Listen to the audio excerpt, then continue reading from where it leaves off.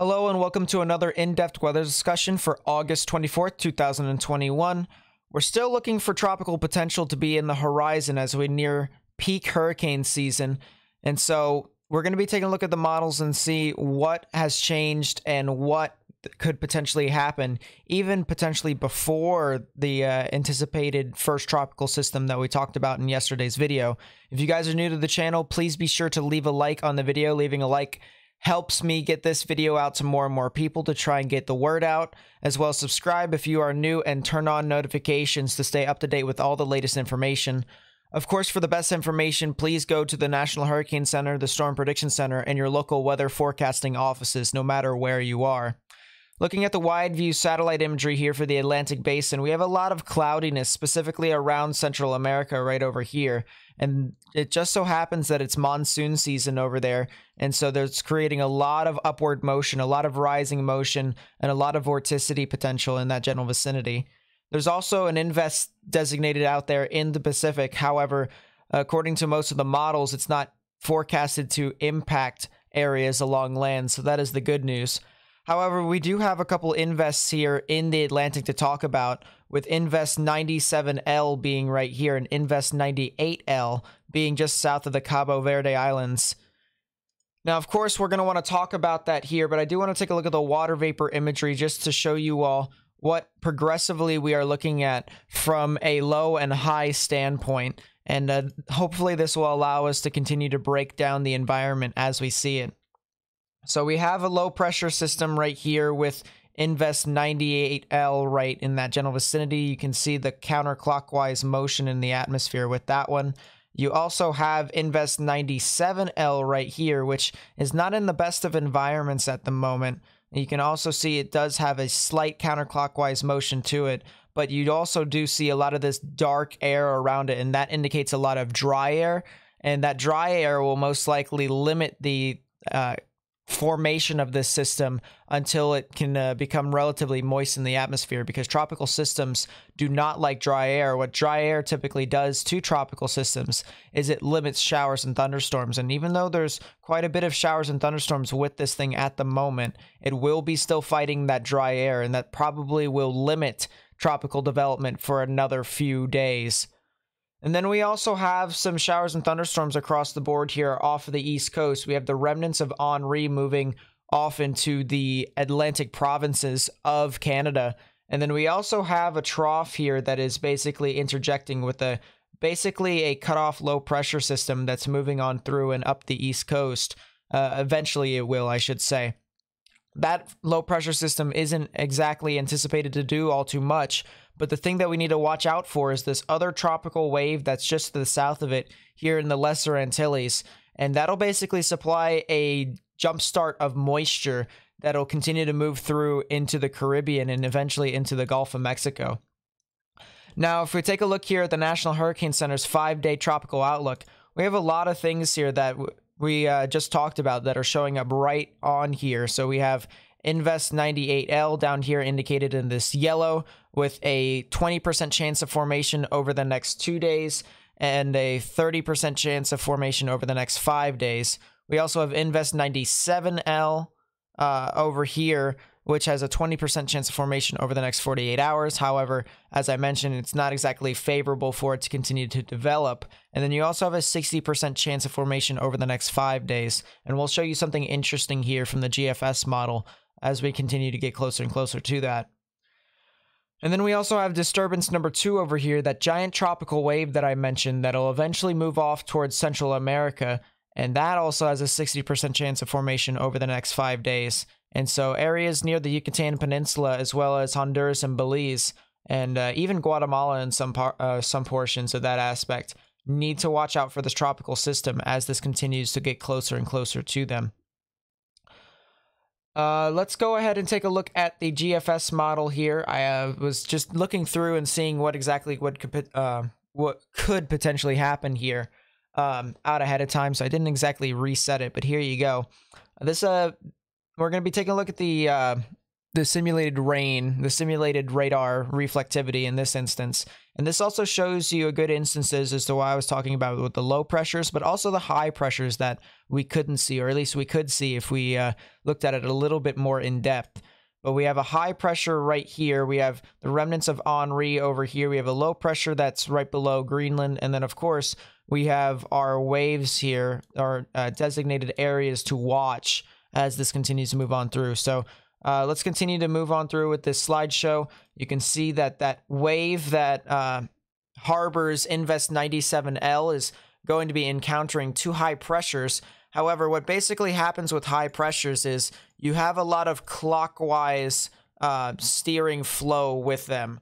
And uh, with it, the big thing here to remember is that high pressures, whenever they create wind shear, they spin in a clockwise fashion, whereas a low pressure system goes counterclockwise. And so that could really be a huge contributor as to where tropical systems actually go with uh, how wind shear basically guides that overall activity into the areas that are surrounded by these major systems. And so uh, just keep watching here as that system continues to move off towards the north and that tropical wave in the Caribbean now starts to really gain traction. And this is where we need to watch out for both systems for the most part. This one, maybe not as much over here with 97L, but more this one over here towards Belize and Honduras and even the Yucatan Peninsula. This thing really starts to gain a lot of traction as it continues to move on north. Of course, it encounters land, but then what happens afterwards is it actually continues to head on further and further north due to the fact that you do have a high pressure right here centered somewhere over Georgia. And as I mentioned, that high pressure system uh, creates a lot of wind shear that moves in a clockwise fashion. And so it's basically going to create a lot of wind shear coming from the south and east. And that's going to guide it further and further uh, somewhere along the coast of Mexico and Texas, more or less, if this thing does end up forming. So the time frame here to watch as uh, we backtrack here is sometime in the end of this week from Friday all the way down into next Monday. And uh, of course, we're going to continue to monitor the intensity and how that will continue to function as we get closer and closer to the system. But just definitely something that we need to watch out for here from a uh, short term perspective because this system has consistently been showing signs of uh, development along with the models. And uh, if that is the case, then we could be potentially talking about our next tropical system here in the Atlantic. Of course, the system over here in the central Atlantic continues to go about, might even become a hurricane at that point, according to this model, and uh, even becomes a strong hurricane in that instance. Uh, but speaking of uh, potential hurricanes, according to the GFS, that system that actually makes landfall somewhere near Mexico and Texas actually becomes a high end tropical storm to maybe even a hurricane in that instance. So something to watch out too. Uh, I mean, I guess we can't really ignore the fact that this system becomes as large and as strong as it does, but uh, fortunately for us, doesn't exactly uh, seem to be near any sort of land. So that is the good news with that essence.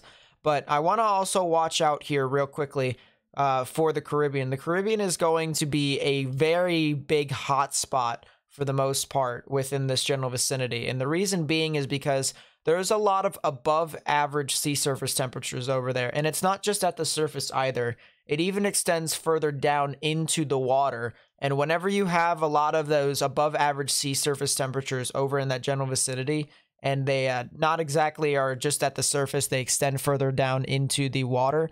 That can uh, that creates a lot of unstable energy. Uh, we talk about how severe weather uh, convective available potential energy or uh, the displacement between warm air rising and cold air sinking creates energy for severe thunderstorms. In this instance, what creates a lot of energy for tropical systems is a lot of warm, moist air that's created by these warm sea surface temperatures. And if tropical systems can pull that energy out, they could potentially become rather significant.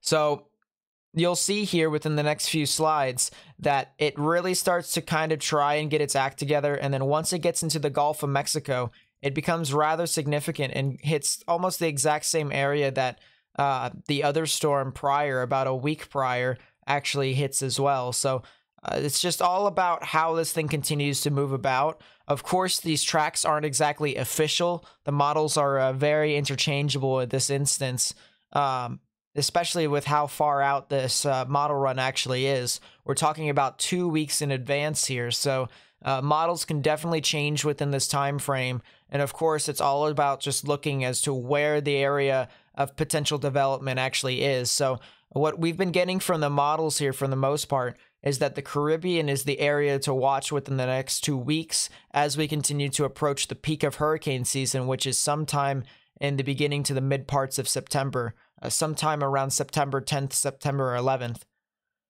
And then, of course, just to finish out the model run, of course, this is going to be the most, uh, this is going to be the lowest likelihood of uh, actually playing out here. But uh, we do have a couple tropical waves that continue to uh, move about some of which go north of the Greater Antilles and end up forming, maybe impacting Bermuda. Uh, that is definitely a likelihood, but as I said, the uh, models it, this far out is very inaccurate. So I wouldn't take this with a full, uh, with a full, you know, I would take it with a grain of salt, if you know what I mean. And then, of course, uh, towards the end of the model run, more development according to this model is possible in the Caribbean. So, as I said, that's going to be the big thing to watch out for is that general warm, moist air and the warm, moist sea surface temperatures over there in that general vicinity.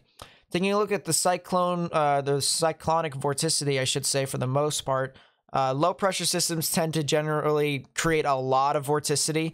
And so, if you see a lot of yellows, oranges, even dark reds, specifically dark reds, that can indicate a lot of uh, vorticity and a lot of potential for it to be tropical. Invest 97L being right here, 98L being right here, and of course the tropical wave to watch somewhere in the Caribbean. We'll see how this plays out as this continues to move on through. But the big thing here, the big eyesore for the most part, is this high pressure system that's just basically sitting over Bermuda or the classic Bermuda high, as well as this other high pressure system that's over here, uh, just right in the center of the Atlantic. And that's basically going to create a lot of steering flow, as I mentioned, to move this tropical system out in between these two high pressures. And uh, for most of you who might be wondering, well, why isn't this storm basically getting torn apart? There's a high pressure right here. There's a high pressure right here. Wouldn't the wind? Wouldn't there be winds coming from both directions in this instance?